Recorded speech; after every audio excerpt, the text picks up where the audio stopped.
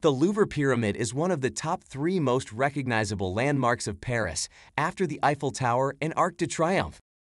Inaugurated in 1908-9 in a short span, the Louvre Pyramid has won over art lovers and become an integral part of the Parisian Art Museum.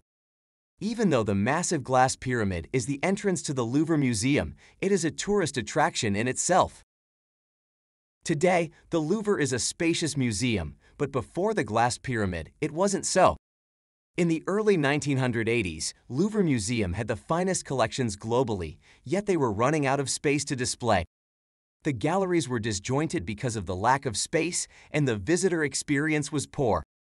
So much so there were only two public bathrooms to cater to the 2.5 million visitors who would come in annually.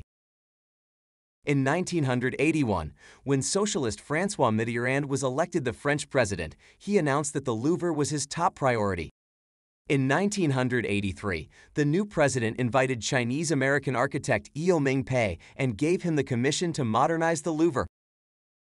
I.M. Pei decided to place a new entrance in the Cours Napoleon, the courtyard enclosed by the museum's existing buildings.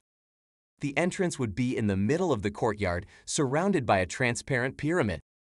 The transparent glass pyramid solved three purposes offer the visitor a grand feeling of arrival, offer space for visitor services, and light up the underground area.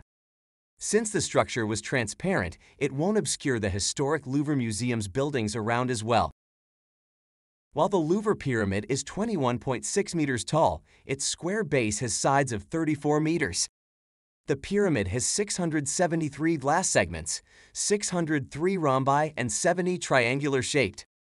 Architect IM Pei Solution added more than 92,000 square meters of floor space to the museum and doubled the exhibition space from 31,000 square meters to over 60,000 square meters.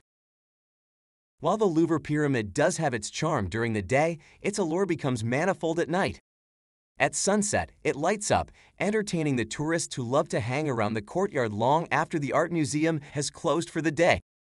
For more such travel videos, subscribe to our YouTube channel.